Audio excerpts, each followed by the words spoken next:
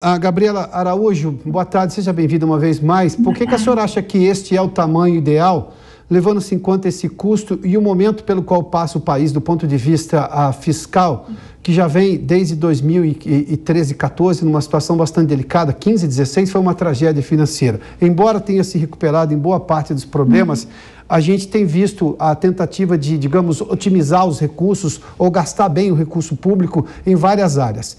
Como os poderes são independentes, o Congresso decide o que faz, como faz também o Poder Judiciário, o que não faz sentido na cabeça do cidadão, porque a fonte única do dinheiro do Estado é justamente o imposto do cidadão.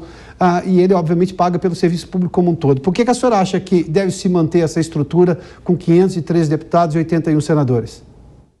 É, Adalberto, eu concordo com a preocupação sua e também do deputado Coronel Tadeu, a gente tem que pensar em reduzir o orçamento, acho que é, é uma preocupação legítima, mas eu discordo da forma, né, cortando o número de deputados. Por quê? Porque eu, eu entendo que a nossa casa legislativa é a casa do povo, é onde o povo brasileiro se sente representado, né, nós temos um, um país uh, de dimensão continental, com diversas regionalidades. Na verdade, uma, uma, uma, questão que eu acho que é até problemática, que a gente deveria até pensar em redistribuir né, é, o número de deputados por estado. Hoje existe aí uma discrepância com relação à distribuição regional. São Paulo, por exemplo, se eu não me engano, também é o estado que o deputado Coronel Tadeu representa, é o estado mais subrepresentado né, na Câmara dos Deputados. Então, existem ajustes que a gente precisaria que fossem feitos, mas eu não entendo que seria reduzindo o número de deputados, até porque a função dos deputados também é é, revisar o orçamento, né, não é somente a produção de leis, representando o povo, não é somente a produção de leis,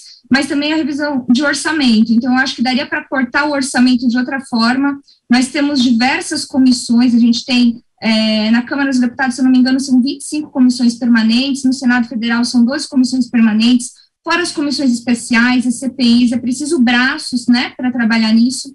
É, o deputado Tadeu, é, Coronel Tadeu, que está aqui presente também, eu sei que ele participa de diversas comissões e é um trabalho importantíssimo que esses deputados e deputadas realizam. E para a gente conseguir representar o corpo social, a diversidade, o pluralismo, né, inclusive político e partidário, que existe no Brasil, a gente precisa de um número mínimo. Eu até peço licença que eu peguei aqui os números, aí eu anotei porque eu não sei de cabeça, né? Pois não. Eu peguei os números dos Estados Unidos. É, nos Estados Unidos, que tem uma população um pouco maior que a do Brasil, né, nós temos ali é, 433 deputados e 100 senadores. É muito parecido com o Brasil. O que, qual que é a diferença dos Estados Unidos com o Brasil? É que ali, eles a cada 10 anos, mais ou menos, eles atualizam o censo e redistribuem a quantidade de deputados que terão ali participação uh, né, por estado para ter uma representatividade regional maior. E é algo que aqui no Brasil a gente não faz desde 93. A nossa situação atual, desde 93, permanece inalterada. Embora a nossa Constituição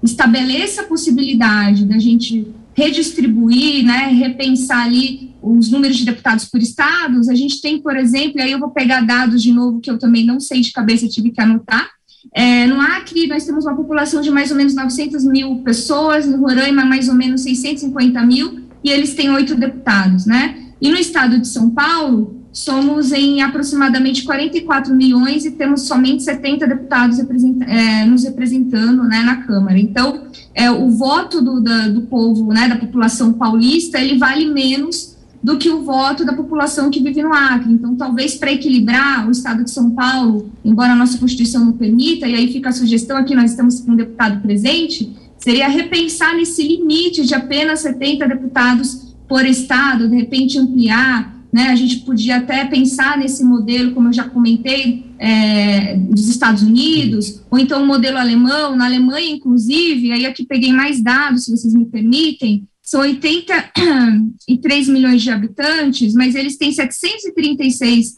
é, deputados uhum. e 71 senadores. Então, assim, nos, nos, países, se a gente for olhar pelo direito comparado, né, a, a, Câmara dos Deputados, o parlamento, é o poder mais importante de qualquer Estado. Então, respeitosamente, discordo de a gente cortar gastos cortando os representantes do povo. Talvez a gente pudesse cortar o gasto por outro lado, mas não dessa forma.